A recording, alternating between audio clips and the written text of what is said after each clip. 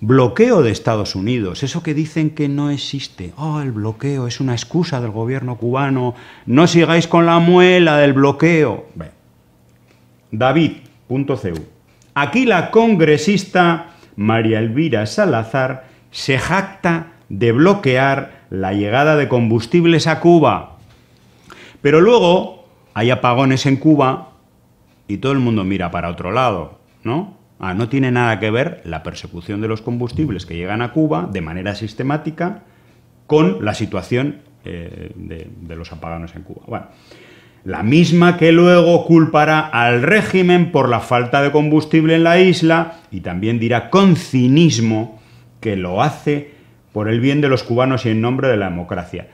Rosa, eh, María Elvira Salazar, esta congresista mm, de ultraderecha por la Florida, antigua presentadora de CNN, verdadera bueno, no, no, voy a no voy a poner calificativos por si acaso. No, no es difícil, no, porque el que le ponga se queda corto. No, no, va, no va a retratar a, a esta, a esta bueno, persona. Yo le diría que es una persona cruel, como todas las con Marco Rubio, con toda esta gentuza, cruel, son crueles. ¿eh? Dice, envié una carta a el Exim Bank, que es, el, es un banco semipúblico ligado al Congreso de Estados Unidos, que digamos recibe órdenes, vamos a decir, del Departamento del Tesoro, es decir, del gobierno de Estados Unidos, para perseguir, para perseguir a las empresas que de alguna manera estarían violando, entre comillas, las sanciones y el bloqueo impuesto por Estados Unidos a Cuba. Dice, envié una carta al Exim Bank de Estados Unidos agradeciéndoles por negar 800 millones en préstamos a Petróleos de México, esa gran empresa estatal del Estado mexicano, por enviar combustible gratuito al régimen cubano. Por cierto, esto ha sido negado. No era gratuito, pero da igual, da igual, sea gratuito o pagado. El dinero de los contribuyentes no debe prestarse a las empresas extranjeras que financian la dictadura de La Habana. Es decir, financiar la dictadura de La Habana significa que entre petróleo a un país y que pueda funcionar. Y entonces es mejor sancionar, torpedear, impedir que entre combustible al país para que la gente no tenga ni siquiera luz eléctrica, que no tenga transporte. Eso sí, no estamos financiando a la dictadura de La Habana. Lo hemos entendido, ¿verdad?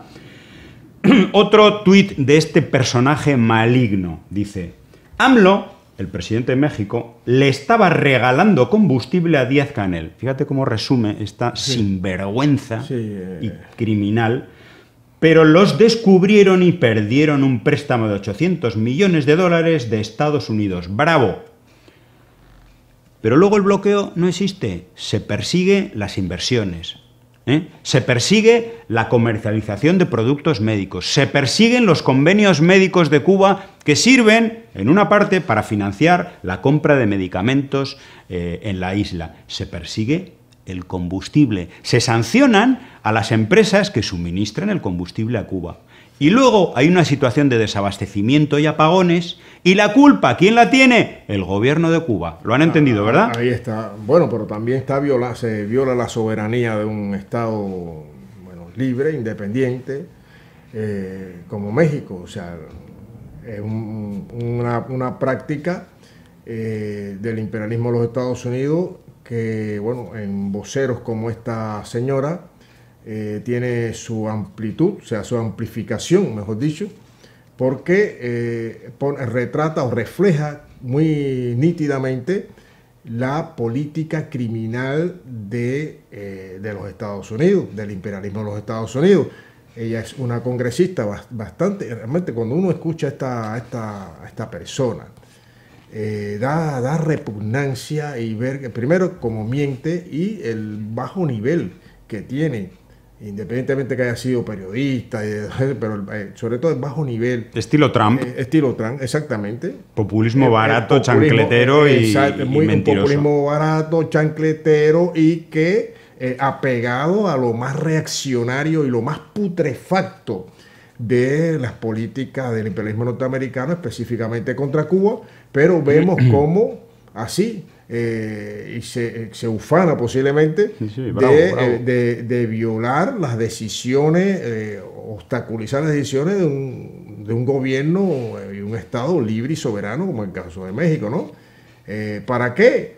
Para después seguir aumentando o metiéndole más ingredientes a esa matriz de opinión de que Cuba es un Estado fallido, de que el comunismo es un fracaso, o sea, pone todos los obstáculos habido y por haber, agrede, que es un acto de genocidio también, es una política genocida eh, que ejerce el imperialismo norteamericano contra un pueblo como el pueblo de Cuba, y después todo, no, un fracaso, eh, pero pero hay que ser sinvergüenza, hay que ser malnacido para eh, situarse en esa frontera, en esa línea, ¿no? Contra un pueblo que ha demostrado su heroísmo y su firmeza de defender hasta las últimas consecuencias la independencia, la soberanía, la dignidad de todo un pueblo. Es decir, que eh, están chocando constantemente con esa determinación del pueblo cubano, eso lógicamente irrita, están aplicando todo, todo lo, habido y por haber para derrotar a esa revolución. No lo van a lograr, no lo van a lograr jamás. Entonces, eh, esta señora realmente queda una vez más eh, retratada como lo que es, es una, una criminal eh, con el ropaje de congresista, pero es una criminal y es una mentirosa. Y es alguien realmente que está dentro de esa, instalada dentro de esa mafia, esa mafia política que cabildea en el, Congreso y que está asentada en el sur de la Florida, en los Estados Unidos. Eh, es una de las congresistas que está defendiendo además a alguien que ni siquiera es de su partido, es del partido contrario, del Partido Demócrata, Bob Menéndez, que está en un verdadero lío porque es un corrupto vamos a decir, un supuesto corrupto, hasta que ya se demostrará en el juicio, tiene todavía que hablar y demostrar y explicar mm, el origen de los lingotes de oro que tenía eh, en su casa y la cantidad de dinero que no ha podido explicar hasta el momento. Y que, por supuesto, Bob Menéndez es uno de, de los que desde el Partido Demócrata está tratando de lo mismo que esta individua, de matar por hambre al pueblo cubano, para luego decir que el comunismo fracasó y que hemos ganado en nombre de la libertad.